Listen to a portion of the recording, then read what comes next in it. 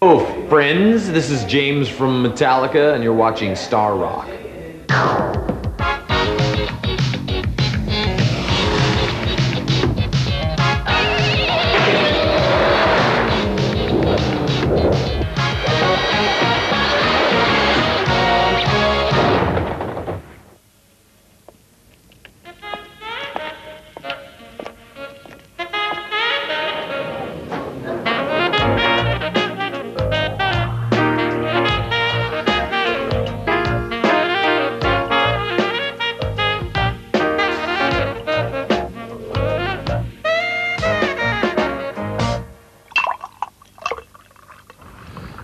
Estét kívánok, kedves nézőink! A Cocktail Bar ezúttal San Franciscóból jelentkezik, ahol egy exkluzív interjút készítettünk a Metallica együttes egyik tagjával. Utána pedig az első emelet szeptemberi Budapest sportcsarnokbeli koncertjét mutatjuk be. Most tehát jöjjön James Hetfield a Metallicából a sztárokban.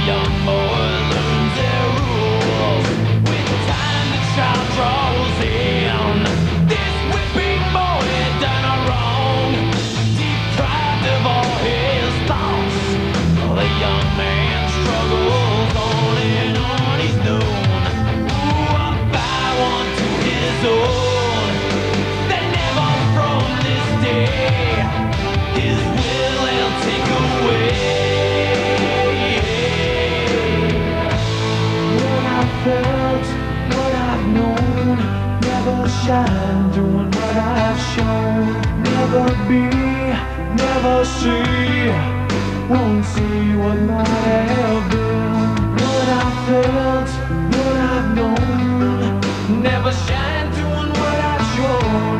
Never free, never me. So I dug the end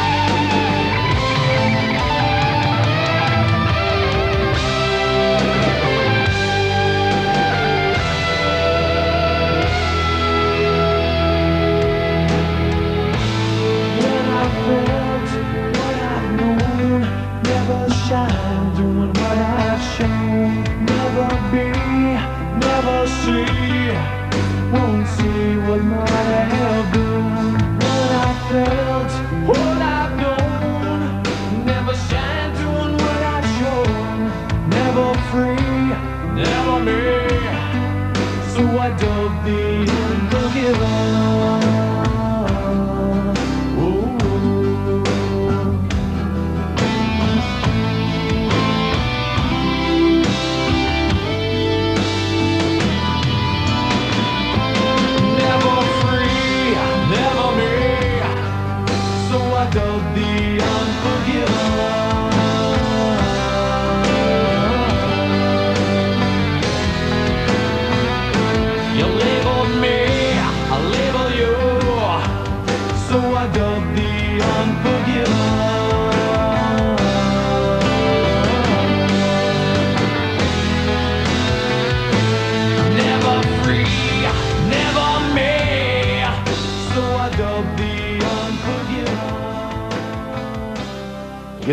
James, már lassan 16 éve vagytok együtt, ugye? 16? Úristen, és még mindig együtt vagyunk. Igen, valóban, 16 éve, és még mindig bírjuk egymást. Hát nem ez lett volna a kérdésem. Nagyon jó. Akkor, akkor azt se kérdezd meg, hogy miért, mert nem tudom. Mi melyik volt a zenekar legnagyobb közös mélypontja? Amikor elkezdünk írni egy új anyagot, akkor mindig beleesünk egy gödörbe. Akkor mindig felmerül a nagy kérdés, hogy mit is csinálunk valójában, és egyáltalán mi történik velünk. Mégis azt hiszem, hogy a zenekar életének legmélyebb pontja az volt, amikor az egyik zenekari tagunk Cliff egy buszbaleset során életét vesztette. Nagyon kemény időkön mentünk keresztül. Tudod, legtöbbünknek nem volt soha nagy családja, így hát a metalikát tartottuk a családunknak. Egy családtagot elveszteni mindig nehéz. És ha egy másfajta krízis helyzet hatalmasodik el a zenekaron belül, akkor ezt miképp kezelitek? Hát azt hiszem régen így kezeltük. Érted? Rengeteget ittunk, és próbáltunk túljutni rajta. Úgy gondolom, hogy ma már sokkal érettebbek vagyunk, legalábbis igyekszünk azok lenni. Azt hiszem, sokkal okosabbak is vagyunk. Még mindig négyen alkotjuk ezt a kört, összetartunk, és még mindig úgy érezzük, hogy, hogy egy család vagyunk.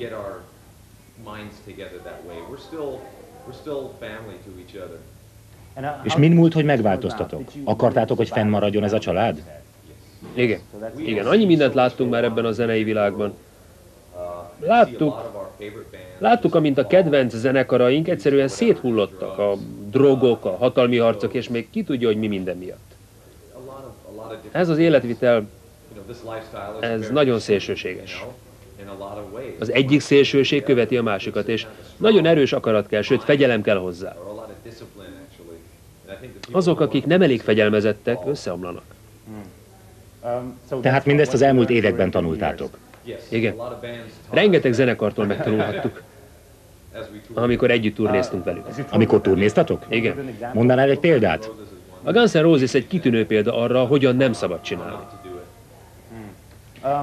Mindenhol azt írják, hogy a Metallica akkor született, amikor Lars és te először találkoztatok. Emlékszel, hogy milyen körülmények között zajlott ez az első találkozó? Hogyne.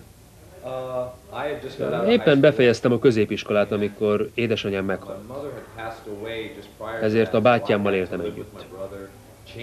Állandóan váltogattam az iskolát. Az utolsó évben pedig búcsút intettem az összes barátomnak, hiszen mindenki máshová költözött. Nagyon nehéz időket éltem át, így hát mindenemmel a zenébe kapaszkodtam. A zene volt a megmentőm bizonyos értelemben. A bátyád is zenész volt, ha jól tudom. Ő is foglalkozott a zenével iskolás korában, de ő 12 évvel idősebb nálam, így hát lassacskán kinőtt belőle.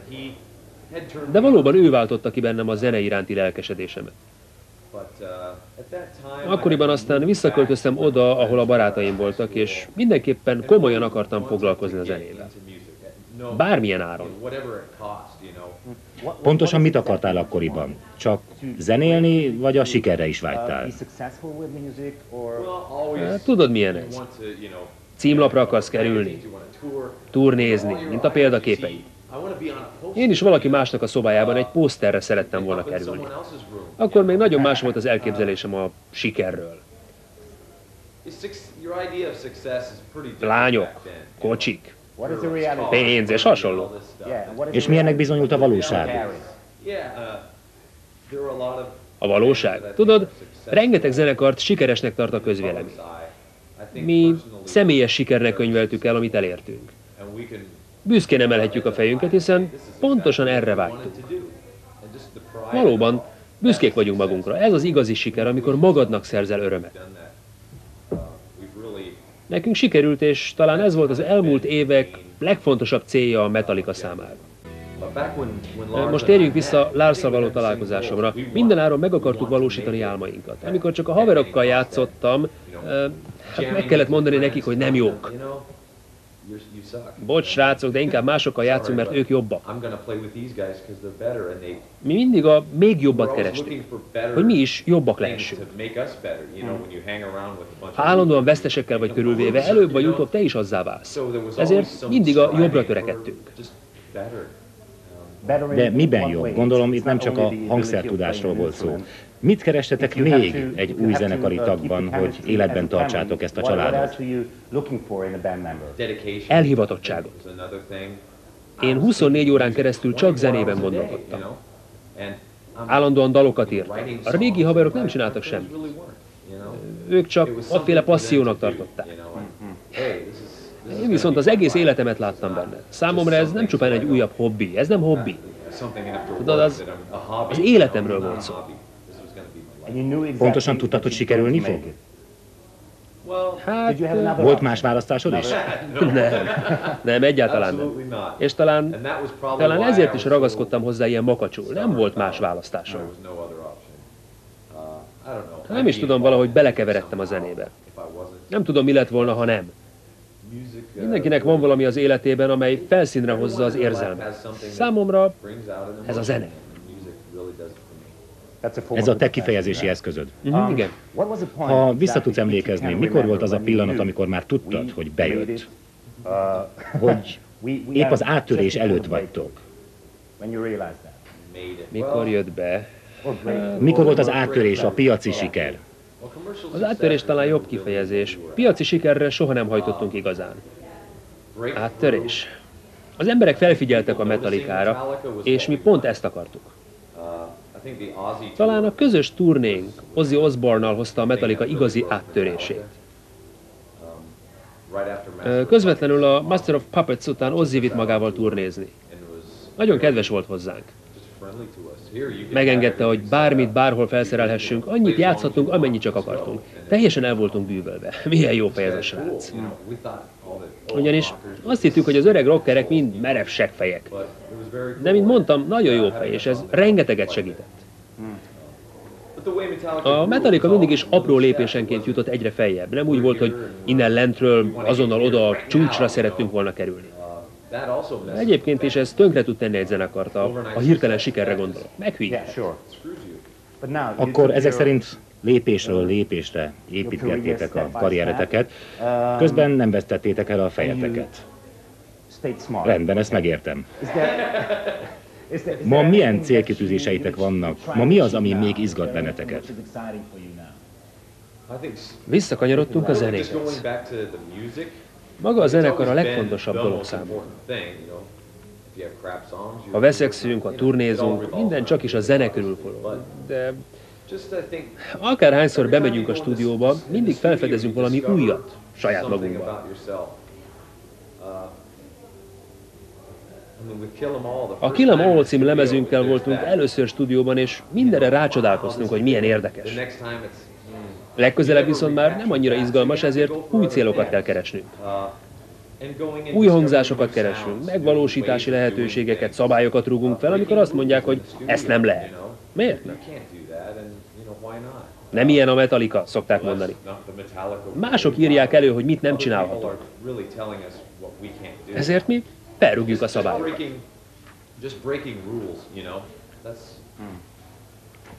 Csak a stúdióban, vagy minden más helyzetben is? Hát bankot nem rabolunk, de a- az úgynevezett heavy metal szabályokat. Eleinte hogyan jöttetek ki azzal a sok kedves emberrel a zenei bizniszből, akik annyi pénzt akartak kifacsarni belőletek, amennyit csak tudtak? Nagyon szerencsések voltunk, hogy már az elején a megfelelő emberekkel hozott össze a sors. Rögtön az elejétől? Nem rögtön. Mindenki követel hibákat, de voltak olyanok, akik látták a lehetőséget a zenekarban. Menedzsereink kivásároltak bennünket a régi rossz szerződésekből. Szárnyaik alá vettek, és végül nem csináltak semmi különöset azon kívül, hogy, hogy vigyáztak ránk. Elhelyeztek a megfelelő lemezkiadónál, ahol valóban a zenével foglalkoztak. Nem pedig azzal, hogy egy, egy gyors sláger után a süllyesztőbe kerüljünk. Ezt a zenekart hosszabb időre tervezték. Tényleg vigyáztak ránk, ahelyett, hogy megpróbáltak volna formálgatni. Nem írták elő, hogy mi a dolgunk. A lemezkiadó nem ülte velünk szemben, hogy változtassunk a szövegeken, hogy nem mondhatjuk ezt vagy azt. Teljes szabadságot kaptunk, ami óriási dolog. Ezt a fajta szabadságot másképp nem kaphattam volna. Tényleg nem. Szóval ez a különbség egy jó és egy rossz lemezkiadó között. De mi a különbség egy jó és egy rossz menedzser között? Egy jó menedzser egyben rajongó is?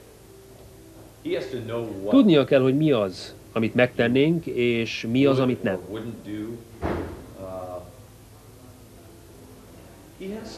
Igazi zenekari tagnak kell lennie.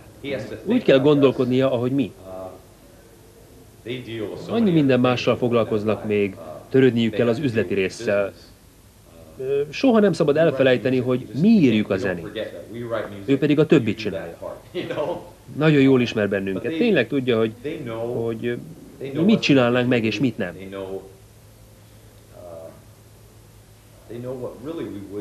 Vannak például bizonyos tévéműsorok, melyben szinte minden zenekarnak illik fellépnie. De ők azt mondják, hogy ez a műsor nem a ti stílusotok, inkább ne lépjetek fel benne. Rendben. Más zenekarok viszont egyszerre mindent akarnak. Bizonyos dolgokat jobb, ha nem csinálsz. Így vagy úgy egyszer mindenki bekerül a gépezetbe. Akár úgy, hogy betartja a játékszabályokat, akár úgy, hogy megépíti a saját gépezetét.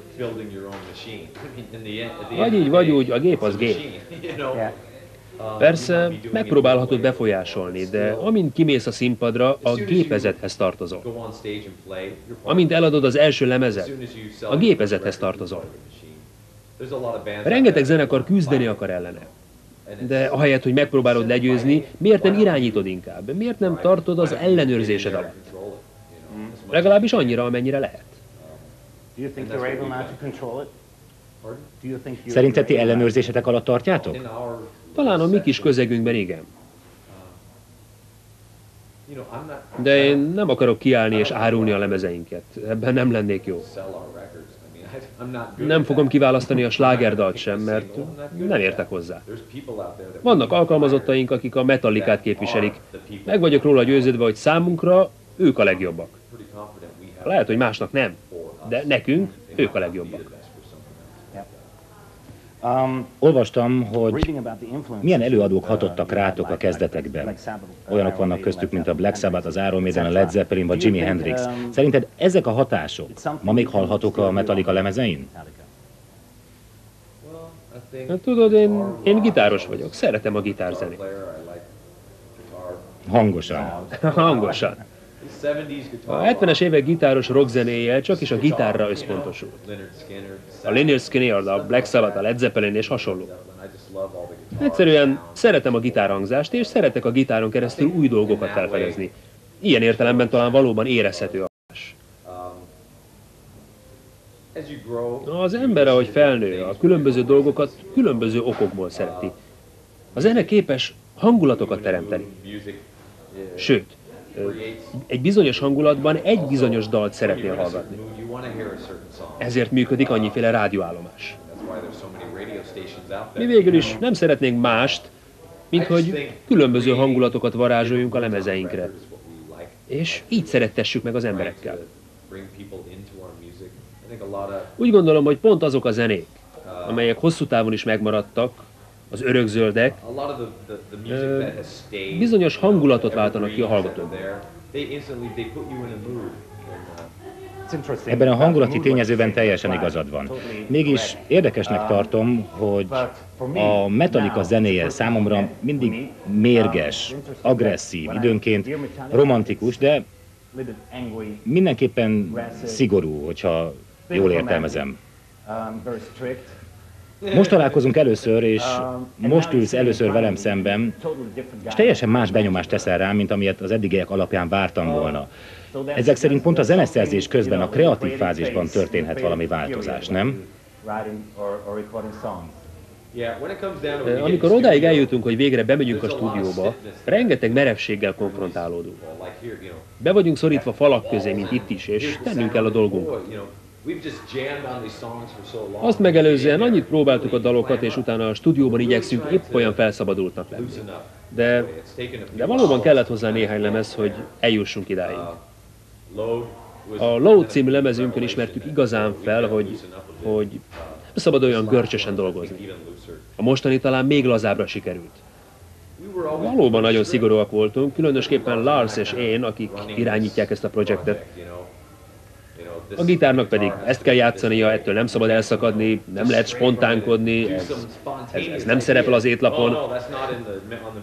Nagyon, nagyon szigorúak voltunk. De talán most egy kicsit think, Ez hallható a Ló című lemezen? Szerintem inkább a Black albumon.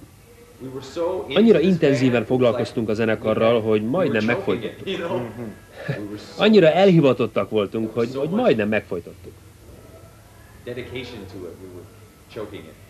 Most már visszafogtuk magunkat. A többi tag is hozza az ötleteit.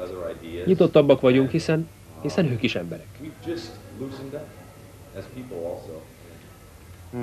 Ma is annyi válfaja van a rockzenének, az alternatív rocktól a hard rockon és a metálon keresztül egészen a pop rockig.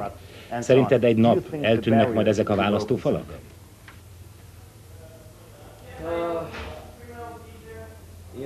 Tudod, nem vagyok proféta, és nem is szeretek előre tervezni. De talán jobban látod a trendeket. Nos, a trendek sem érdekeltek soha különösebben.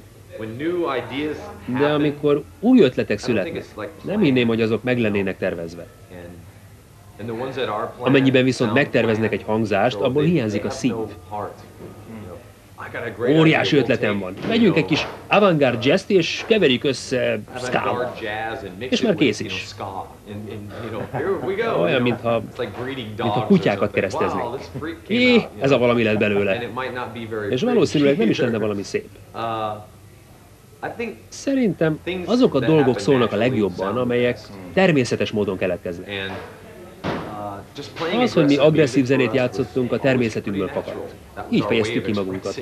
Különös tekintettel arra, hogy Los Angelesben nőttünk fel, ahol csak is szép rockzene szól. rock was around. Utáltuk. Utáltuk, és akartuk, hogy ezt mások is megtudják. A Ló című lemez nagyon érdekes volt, hiszen a metalikára egyáltalán nem jellemző hatások megtalálhatók rajta, mint például a blues és a country. Úgy tudom viszont, hogy ez a lemez nem nagyon nyerte el az úgynevezett elvakult metalika rajongók tetszését. Nem zavar, hogy őket ezáltal elvesztettétek? Well, you know, Tudod, a Metallicát rengetegen személyes ügyüknek tekintik. Sokan úgy vélik, hogy ők tudják, mi a legjobb nekünk. Tényleg, személyes personally. Rajongókról beszélsz? Igen. Személyes értésnek veszik, ha, ha nem azt csináljuk, amit tőlünk elvárnak. Egyesek képtelenek felfogni, hogy szabadok vagyunk, és azt csinálunk, amit akarunk. És ez a jövőben is így lesz. Uh, Nem azért vagyunk, hogy másoknak szerezzünk örömet. Tényleg. Hosszú távon úgy gondolom, hogy csak akkor vagyunk képesek másnak örömet szerezni, ha mi is boldogok vagyunk. Doing someone Ha valakinek szívességből írnánk dalokat, az bennünket nem vinne előre. Az előadásmódon is éreznéd, hogy nem érezzük magunként. Bármit is játszunk, 110%-ig a magunkénak kell érezni. Minél többet kísérletezünk, annál kevésbé értik meg ezek az emberek, hogy a zenét nem lehet korlátok közé szorítani. A zene belőlünk fakad. Reménytelen dolog lenne mindenkit kielégíteni, ha, ha dalszerzés közben arra gondolnánk, hogy, hogy Jézusom, lehet, hogy nem tetszik majd. Lehet, hogy, hogy, hogy nem tudjuk majd eladni ezt a lemezt. Egyszerűen nem érdekel. Boldogok vagyunk, és csak is ez számít. Line. Beszéljünk valami másról. Tavaly láttalak benneteket a Lót turné Bécsi állomásán. Nagyon szokatlan volt maga a színpad, mert a terem közepén állítottátok fel. A közönség körbeállt a színpadot, és az egyik mikrofon állványtól a másikig futottatok. Volt annyira izgalmas ez az előadásmód, hogy jövőben is így léptek majd fel? Well, we always Mindig is szerettük a közönséggel való összjátékot. Érted? The, you know, rájuk szórom az izzadságomat, ők pedig vissza rám. Megérintjük egymást, és amennyire lehet, testközeli kapcsolatban vagyunk. Persze szükséges egy bizonyos távolság a pirotechnika miatt, bár egyesek azt is szeretnék közelről élvezni. De nagyon szeretjük a közvetlen kapcsolatot, és ezt meg is szeretnénk tartani. Ezzel már kísérleteztünk a, a Black album turnéján a gyémánt formájú színpaddal, és a közönség volt középen. Ezt most, ezt most tovább fejlesztettük. Hiszen egy szinten szemtől szemben állunk a nézőkkel, nem valami talapzatról nézek rájuk. Teljes teremfényben megyünk ki a színpadra a koncert legelején. Tudod, így, így sokkal lazább a hangulat.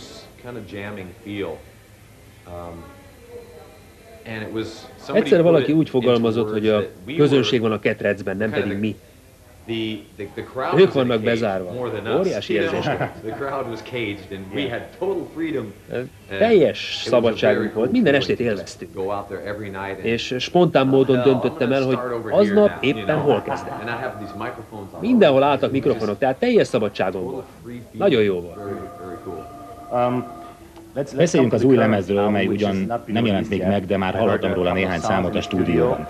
Úgy tudom, hogy az előző lemezre a Loadra körülbelül 30 számot írtatok, abból 14 megjelent, 16 pedig megmaradt. A megmaradt 16-nak van valami köze az új lemezhez? Igen. Nem írtunk újat. Persze megtettük volna, de azt akartuk, hogy teljesen tiszta legyen ez a lemez.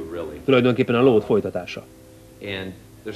Ezen pontosan 13 szám szerepel majd. Valóban ö, olyan dalok ezek, melyeket nem fejeztünk be a loadon. Nem jobbak, nem rosszabbak. Hát azért úgy gondolom, hogy jobbak. Ezeknek a befejezetlen daloknak érdekes hangulata van. Ö, Vannak gyorsabb számok, aztán, aztán vannak lassabb, dallamosabb dalok. Van egy nagyon fura, letört hangulatú dal is a lemezen, szóval folytattuk a felfedező munkát. Szerintem a hangzása is sokkal jobb. Amikor visszamentünk meghallgatni, úgy éreztem, hogy minden jól szól, nem kellett újra venni. Tényleg, gyors munka. De sokkal több rajta az élő hatás, mint a lódon. Izgatottan várom már a megjelenést. Amikor turnéztunk, mindannyian vártuk már, hogy visszatérhessünk a stúdióba, és, és befejezhessük a felvételeket. Közben reméltük, hogy még akkor is tetszeni fognak, hogy számukra is frissek lesznek, amikor egy év turnézás után meghallgatjuk őket. De szerencsére így is volt. Itt-ott persze azért belevágtunk, de reméljük, hogy ez a 13 dal karácsonyra végül megjelenik. Ennek az új munkának netán címe is van már? Arra gondoltunk, hogy legyen Reload. Reload? Igen, valami, amiben benne van a load. De ez azt jelenti, hogy művészetileg köze van az előző lemezhez? Feltétlenül kapcsolódnak egymáshoz, feltétlenül. Ezért sem akartunk két évig turnézni, ezért sem jutottunk el egyes városokba. Vissza akartunk menni a stúdióba, hogy befejezhessük a munkát. Valóban összetartozik ez a két anyag, hiszen a felvételek ugyanakkor készültek. Még kiegészítettük újabb gitárszólamokkal, de a dobokat már a lót készítésekor rögzítettük. A hangulata is ugyanolyan, hiszen a kreatív munka ugyanakkor zajlott. Úgy gondolom, hogy a borítója is hasonlítani fog, hogy nyilvánvaló legyen az egység. De ettől függetlenül feltétlenül találhatók új hangulatok is rajta. Említetted, hogy az utolsó turnén kimaradt néhány város. Milyen emlékeid vannak Magyarországról, Budapestről? Kitűnő. Nagyon jó. Talán kétszer játszottunk ott, ugye? Igen, igen. Legalább kétszer. Mindenki nagyon barátságos volt. Bocs, azt hiszem, hogy háromszor voltatok ott. Háromszor? Oké. Amint említettem, borzalmas az emlékező tehetségem. Szóval óriási fogadtatásban volt részünk. Igen, úgy éreztük, hogy, hogy nagyon szeretnek bennünket. Ami azért nem rossz. Olvastam, hogy amikor van egy kis szabadidőd, a barátnőddel szoktál elutazni. Hogy lehet, hogy egy zenész, aki 16 éven keresztül nem csinál más, csak utazik, a szabadidejét is arra használja fel, hogy ismét elutazzon?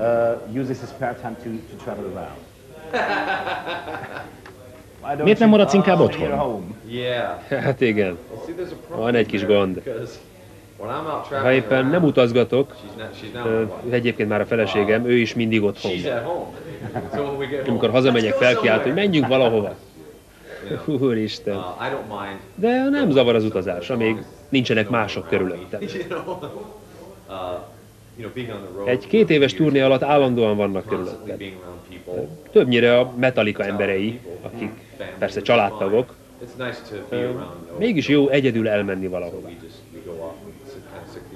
Általában kisebb helyekre utazunk, de megmondom őszintén, szeretek otthon lenni. De ma már egyre inkább. Ha van egy kis szabadidőm, van mit csinálni. Hobbik, sport, stb. Milyen hobbik, milyen sport? Nagyon érdekel az autóversenyzés. Persze nem vagyok versenyző, de részt veszek egy-két utcai gyorsulási versenyen. Legálisan vagy illegálisan? Hát így is, úgy is. Sok minden, ami élvezetes, sajnos illegális.